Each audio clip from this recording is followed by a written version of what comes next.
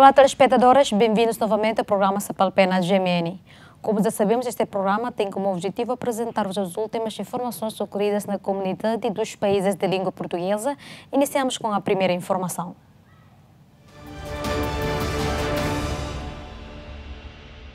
O ex-presidente brasileiro Fernando Henrique Cardoso declarou apoio ao ex-presidente Lula da Silva, que disputa a segunda volta das eleições presidenciais.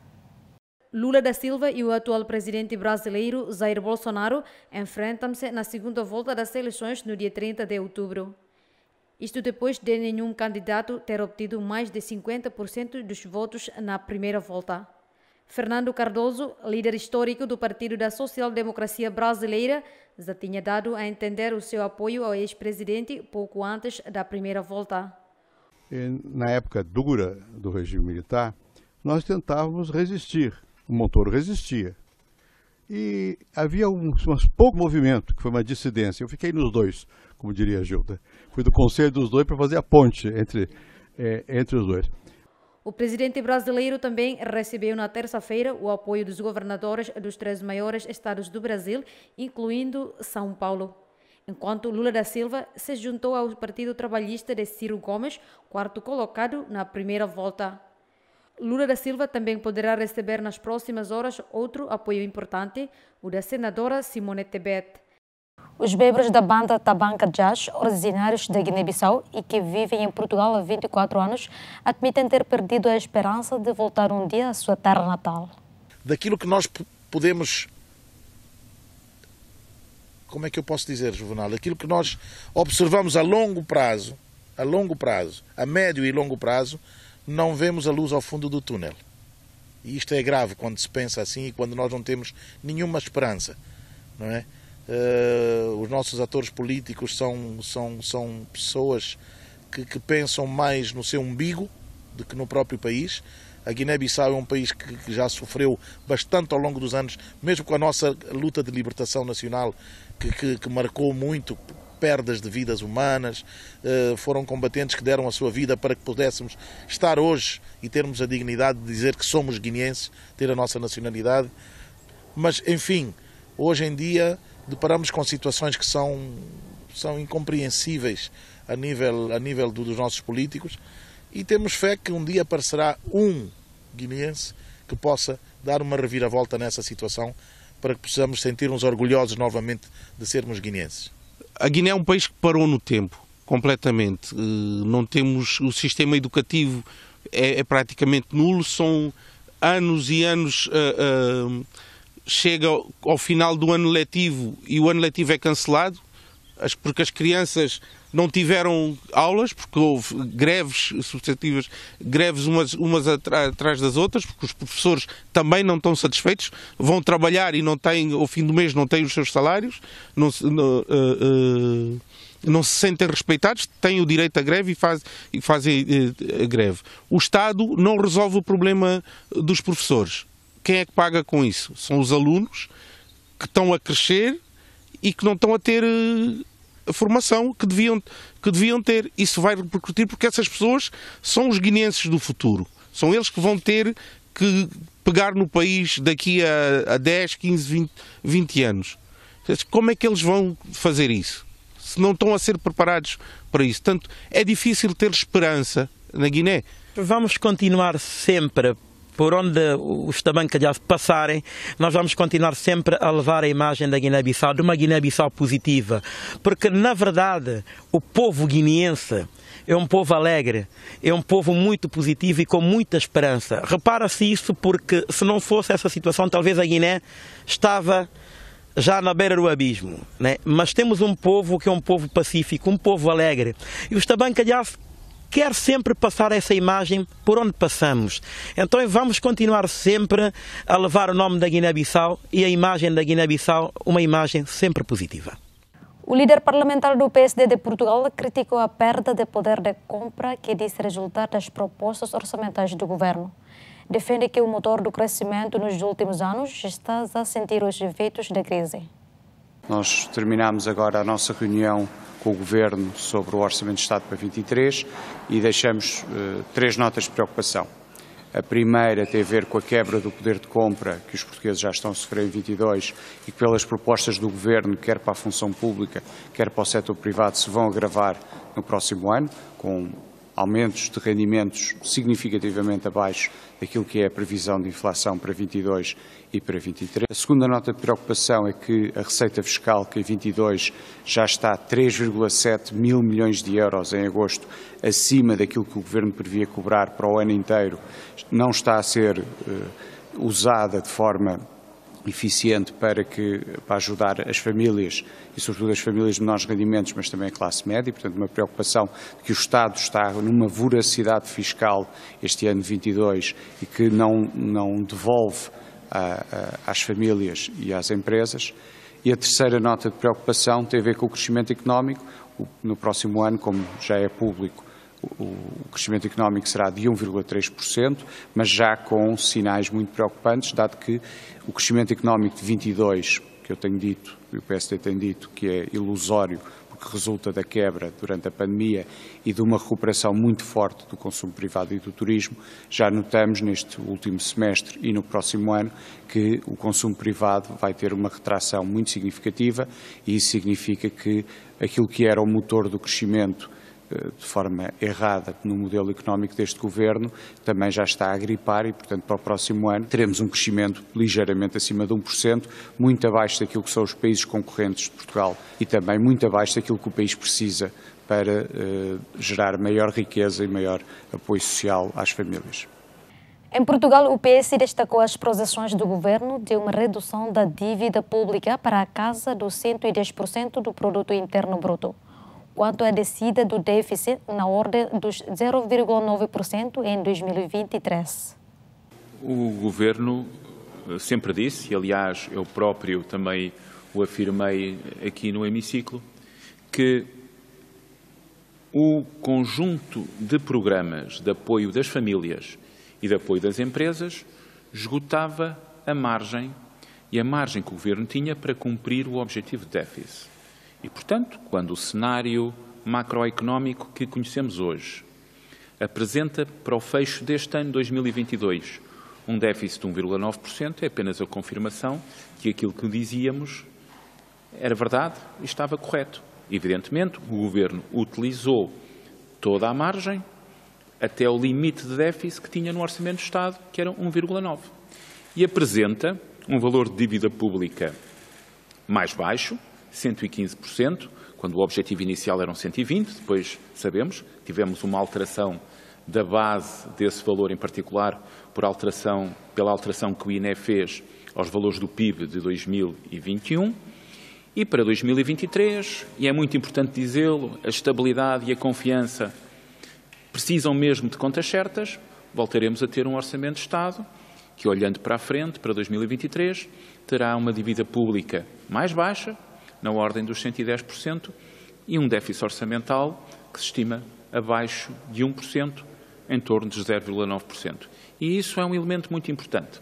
A estabilidade e a confiança e garantir que os portugueses têm uma melhoria dos seus rendimentos no momento de grande incerteza, quando temos inflação, passa por cumprir, ter contas certas.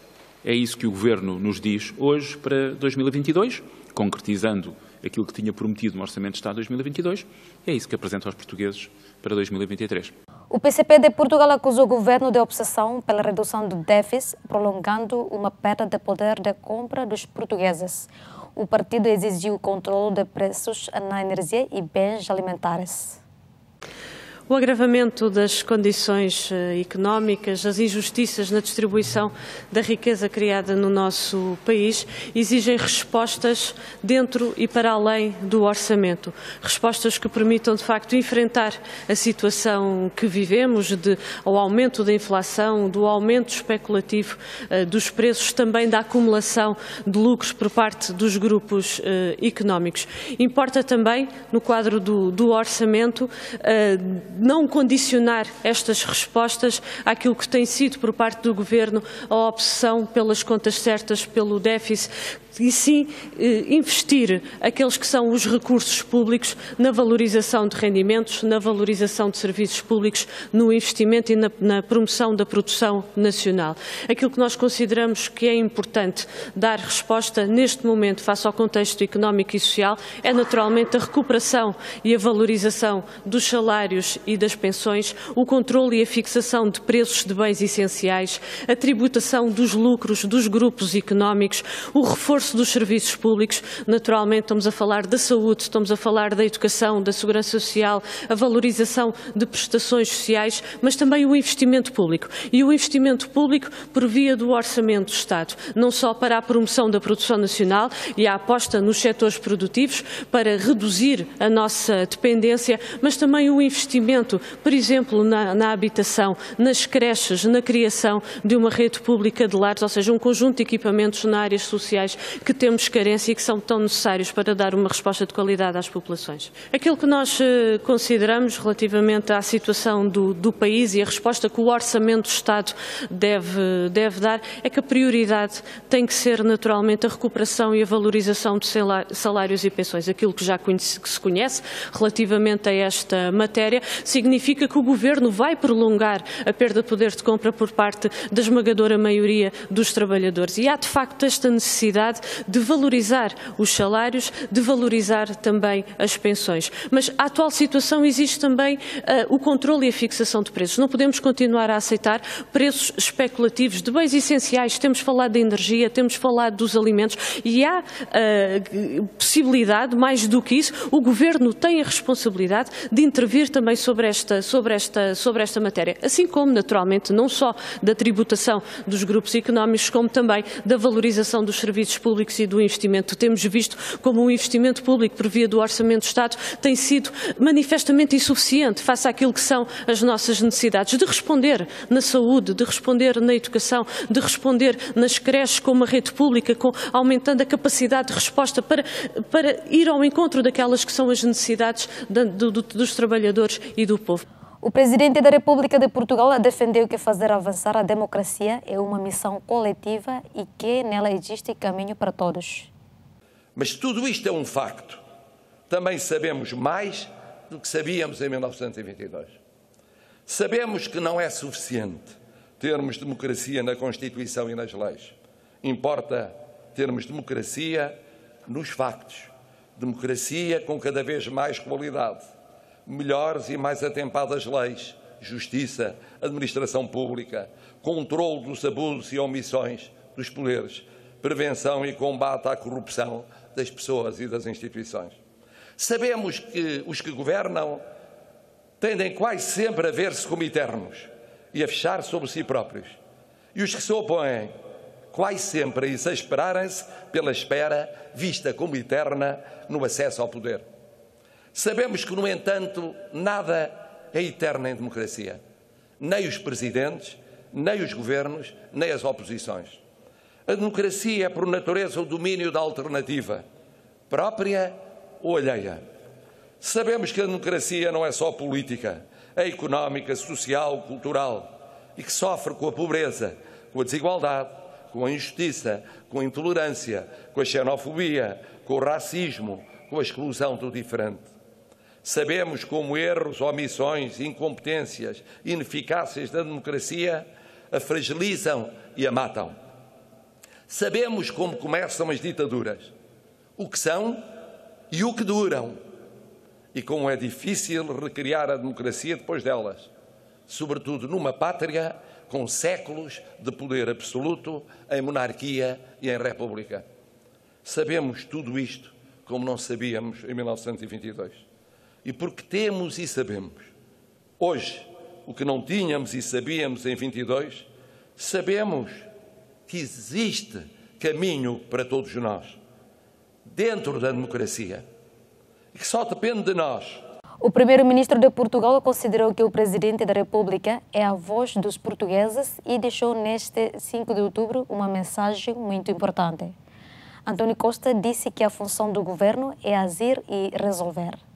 A mensagem do Sr. Presidente da República foi muito importante para o país, a, a sinalizar como, não obstante, os tempos de enorme incerteza que temos vivido, os tempos de grande exigência, uma pandemia, agora uma guerra, inflação como não tínhamos há 30 anos, estamos hoje, felizmente, numa situação que não tem comparação há, há 100 anos atrás.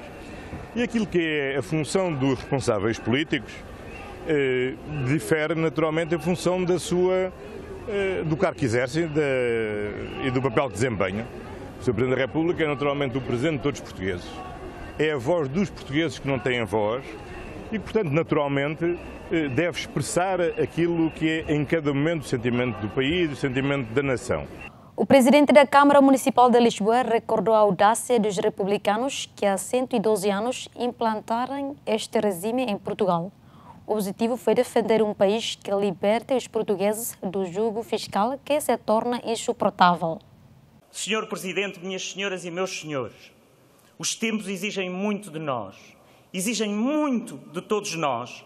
Os desafios com que o país se depara exigem audácia e não resignação audácia para crescer mais, audácia para libertar a criatividade dos portugueses, audácia para libertar as famílias, as empresas e a sociedade civil. Não nos podemos resignar perante alguma estagnação económica. Não nos podemos. Não podemos, como portugueses. Não podemos porque nunca fomos assim, porque tivemos sempre coragem e ambição porque devemos querer mais. Sim, queremos mais. Não queremos apenas convergir com a Europa, queremos mais, queremos ser um país mais preparado para um mundo cada vez mais competitivo. Um país que liberte os portugueses do jugo fiscal que se torna insuportável para as suas vidas.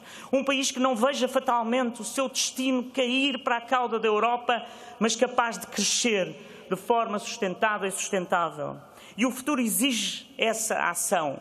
O futuro exige fazer, exige a capacidade de fazer a diferença na vida das pessoas, exige a capacidade de tomar decisões todos os dias na saúde, na educação, na transição energética, na habitação, exige a ação.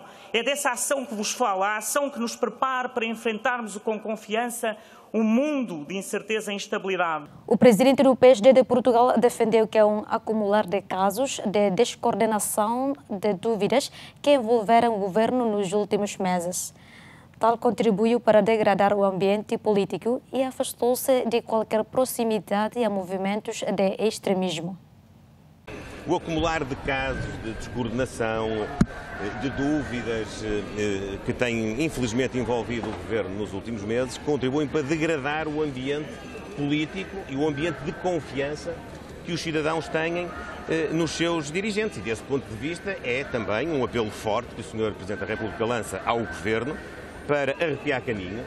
Eh, no fundo, para deixar, como, eu tenho dito, o Sr. Presidente não disse, e eu não quero atribuir-lhe essa expressão, porque ela é minha, um governo que tem que deixar de estar à deriva e que eh, se concentre em responder realmente àquilo que afeta a vida das pessoas, na oferta de serviços públicos de qualidade, em áreas essenciais como a saúde, como a educação, eh, como a cultura, como o desporto, áreas que dão qualidade de vida às pessoas no dia a dia e, naturalmente, também ter uma economia suficientemente pujante e preparada com tudo aquilo que implicam políticas audazes, como também foi aqui lançado pelo Sr. Presidente da Câmara Municipal de Lisboa, para projetarmos um ciclo de desenvolvimento económico que permita precisamente que o Estado depois tenha meios para responder às necessidades sociais dos cidadãos. O primeiro-ministro de Portugal recusou que a situação do ministro da Saúde ser sócio-gerente de uma empresa seja um caso e que Manuel Pizarro esteja fragilizado. Costa considerou que quem começar a exercer cargos públicos precisa de fazer o seu ajustamento. Eu acho que estamos a utilizar, talvez com um excesso de delírio, eh, apesar talvez um pouco das palavras, casos. A ver, uma pessoa que tem a sua atividade, num dia vem para o governo, tem que, ajuste, tem que deixar de poder, de, tem que deixar de exercer um conjunto de atividades. O deixar de exercer um conjunto de atividades, há pessoas que têm simplesmente um contrato de trabalho por conta de outrem e num dia para o outro deixam essa atividade, há pessoas que são deputadas e simplesmente de um dia para o outro deixam essa atividade quem tem uma sociedade comercial. Precisa de uma semana, duas semanas para fazer esse ajustamento. Como o Sr. Ministro da Saúde já anunciou, já está marcada a escritura para, não para é um alivianar. Não, não é um caso, é um, é um problema que acontece necessariamente a qualquer pessoa que, estendo a exercer uma atividade privada, quando passa para o exercício de uma atividade pública, tem que deixar de ser essa atividade privada e há umas que se pode fazer num minuto, há outras que levam duas semanas. Não, não há problema. ao Ministro da Saúde? Não, minha senhora. O líder parlamentar do BE de Portugal considerou que neste 5 de outubro faltou uma mensagem do Presidente da República e do Primeiro-Ministro sobre o empobrecimento em Portugal. Se a democracia uh, não é um dado adquirido para todo sempre, ela tem de ser trabalhada cotidianamente. E um dos aspectos que nós tivemos no passado e que ameaça o presente é o descontentamento pela quebra da qualidade de vida das pessoas, o empobrecimento. E essa é real, com uma inflação que está galopante e que não tem resposta por parte dos governos, do governo português, das entidades públicas, no poder de compra, na salvaguarda da vida das pessoas e na garantia sobre direitos fundamentais, a alimentação, a habitação. E desse ponto de vista não tivemos nenhuma mensagem nem no seu Presidente Presidente da República, nem já agora do Sr. Primeiro-Ministro na reação que teve uh, depois. Dizer que está tudo bem, que o Governo vai continuar a fazer o que tem feito, é resignar-se perante o empobrecimento do, do país e isso para nós não é aceitável. Dizer que está tudo bem é, por exemplo, o Governo não apresentar nenhuma soluções para a crise da habitação, para o galope das taxas de juro, para a ameaça que levou a mais de 20 famílias no, último mês a chegarem junto da DEC para não conseguirem pagar a sua casa. E nós temos, nos próximos dias, eh, momentos-chave a que o Governo já está a falhar vai falhar amanhã, porque o PS não apresentou nenhuma iniciativa para debater este tema na Assembleia da República, vai falhar aparentemente na apresentação do Orçamento de Estado, porque o Governo acha que está tudo bem com as pequenas migalhas que apresentou ao país. O líder parlamentar da Iniciativa Liberal de Portugal acusou o Presidente da República de não ter aprendido com a história em matéria de governos e alternativas. Indicou que o que tem existido em Portugal é uma alternância e coxa. O Presidente da República fez um paralelo histórico bastante interessante uh, e depois puxou pela questão das alternativas e da exigência. Mas também parece que o Sr. Presidente da República não aprendeu com a história. Primeiro, porque temos de facto um problema que não tem existido alternativa na história da democracia em Portugal. O que tem havido é uma alternância e uma alternância coxa só para vermos o facto que o Partido Socialista está a governar 20 dos últimos 27 anos. E relativamente à exigência, o Sr. Presidente da República tem sido, infelizmente, um bom exemplo da pouca exigência que tem que existir sobre os poderes, e começando pelo Governo e também pelas oposições. Nessa parte, nós estamos bastante confortáveis, que achamos que temos feito a nossa parte, sobretudo para demonstrar que tem que existir uma alternativa. E nós temos sido o partido em todas as áreas, desde a questão fiscal, saúde, educação, segurança social e podemos ir para outras, que têm mesmo uma visão alternativa àquilo que os desgovernos têm desgovernado este país. Portanto, nesse aspecto nós estamos bastante tranquilos e gostávamos que o Sr. Presidente da República, de facto, eh, fizesse o que tem que fazer, o que lhe compete, para que exista alternativa na democracia em Portugal e para que haja mais exigência, começando pelo Sr. Presidente da República. A líder parlamentar do PSP de Portugal defendeu que a situação que Portugal atravessa no plano econômico e social exige o cumprimento da Constituição e resposta que salvaguardem os direitos. A situação no nosso país, no plano económico e social, uh, coloca a necessidade de estar de cumprimento à nossa Constituição, naquilo que a nossa Constituição coloca no plano da democracia política, no plano da democracia económica, no plano da democracia social e no plano da democracia cultural. É preciso, de facto, dar esta concretização. A realidade que vivemos no nosso país de agravamento das condições de vida das famílias, dos salários e das pensões dar para cada vez menos, do aumento dos preços do uma forma especulativa, a partir do aproveitamento dos grupos económicos, as dificuldades no acesso à saúde, à habitação, dificuldades no plano da segurança social e da educação, aquilo que exigem são de facto respostas, respostas no sentido da valorização dos salários e das pensões, respostas no sentido do controle e da fixação de preços e da tributação dos lucros dos grupos económicos, mas respostas também no sentido do reforço dos serviços públicos, seja na educação, na saúde, na segurança social, na garantia do direito à habitação habitação e são de facto muitos hoje os jovens que procuram uma habitação e não conseguem. São de facto hoje muitas as dificuldades por parte das famílias que receiam poder não ter capacidade para manter a sua habitação. Isto naturalmente num plano na defesa da liberdade e da democracia, dos valores que foram conquistados na Revolução de Abril e que ficaram consagrados na nossa Constituição. Flávio lesionou-se aos 5 anos e teve de reaprender a andar. Os 12 aprendeu a dançar em cadeira de rodas num grupo que nasceu para promover a inclusão de pessoas com deficiência em Cabo Verde através da dança.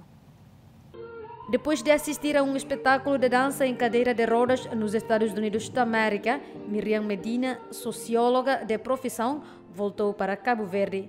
Inspirada, Isa, com dançarinos identificados, montou algo idêntico no arquipélago, pois eram também atletas paralímpicos. A banda surgiu no dia 17 de junho de 2010, com o intuito de se fazer um, a inclusão das pessoas com deficiência através da dança. Atualmente conta com 16 membros, sendo nove portadores de alguma deficiência motora que dançam com os seis integrantes sem deficiência e que realizam hoje a sua décima gala na praia.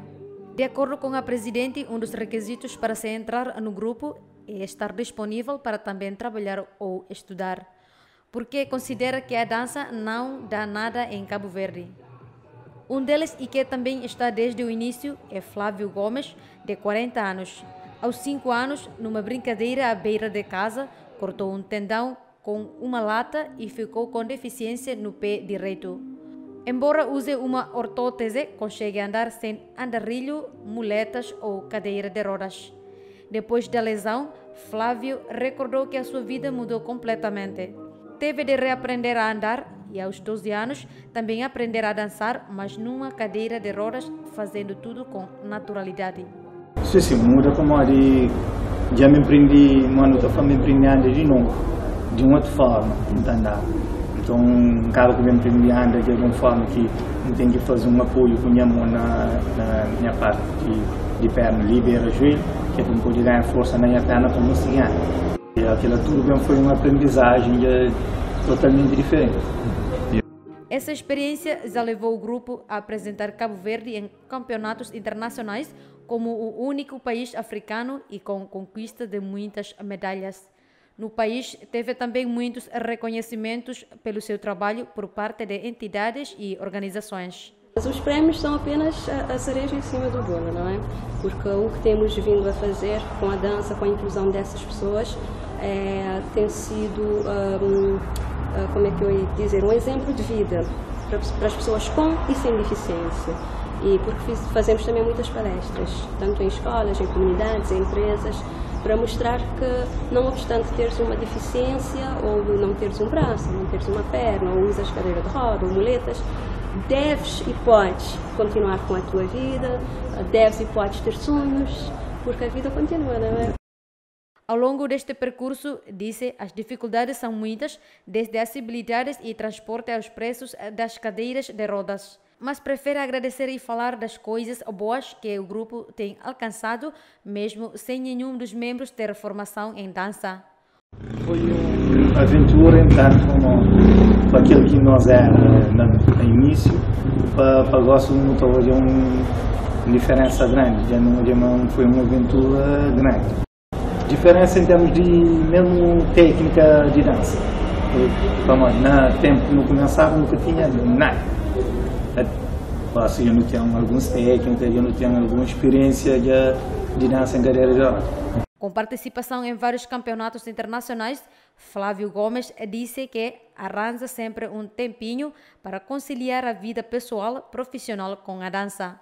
Considerou igualmente que as dificuldades estão por toda a parte, mas dá a receita para contorná-las superação.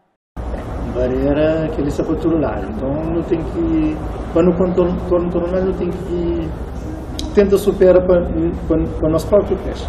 Então, ou seja, para nosso próprio carinho. e, então não está não tá tenta fazer algo que não está fora. Será que não está consigo? Mas não está bem. Ou que quer, ou sem quer, não está tenta bem para não poder conseguir aquele objetivo que não quer. Seis anos depois, o grupo vai voltar a realizar hoje a sua gala internacional de dança em cadeira de rodas na cidade da Praia. Uma vez que em 2016 e 2017 foi na Suíça e Luxemburgo, nos dois anos seguintes dedicou-se apenas a campeonatos internacionais. Com o título do avesso, a festa de remota do Mon na Roda vai ser na Assembleia Nacional. Vai contar com convidados nacionais e internacionais do Brasil, Países Baixos, Bélgica e Argentina, mas também de muitos amigos, parceiros e amantes das artes, da música e da dança. E agora que retomou, o grupo não quer parar de dançar e de concretizar os seus projetos. Segundo a presidente, a construção da sede própria terá lugar na praia, onde já tem um terreno oferecido pelo então presidente da Câmara Municipal Cabo-Verdiano, Ulisses Correia. Foram as informações dadas nesta edição. Até a próxima.